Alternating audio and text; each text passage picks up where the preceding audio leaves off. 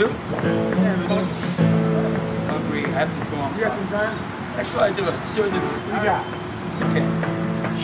When I love, I love from the trees of heart. When I love, I love you from the start. When I can, I love you, baby, only you, you. In my heart, we start to love when we start. I love you.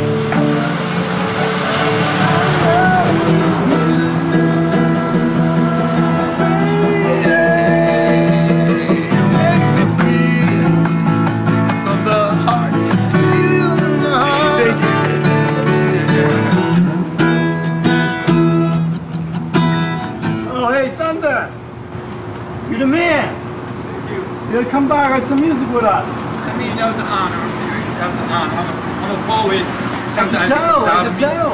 Thank you all for letting me do that. look at this place. Look, I, I've been around the block for, for seven years. I got a studio wide open, man, for people to come in and, and write together, Oh yeah. create together. Yeah, yeah. This is where we're at now because they're doing work on our spot. But we're doing a thing every week where I come out on Friday, Okay. write a song with me, we sit down for about 30 minutes, then we go inside, we record it, Oh another wow. 30 minutes.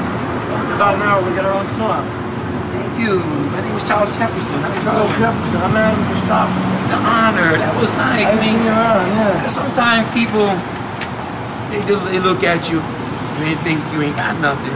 You guys gave me a chance, you know. And I'm a poet by heart, and I just like doing poems off the top. We got some, we got, um, we got coffee, we got some water. You want to chill for a little bit? We got air conditioning going on.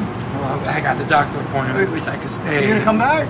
Yeah, I'm gonna, that, Yeah. that was really nice. Thank You gonna you. come through again? Definitely. Now you always gonna be here. This is our spot. Yeah, we're 11 to 4. And then Thursday night, we got an open mic night.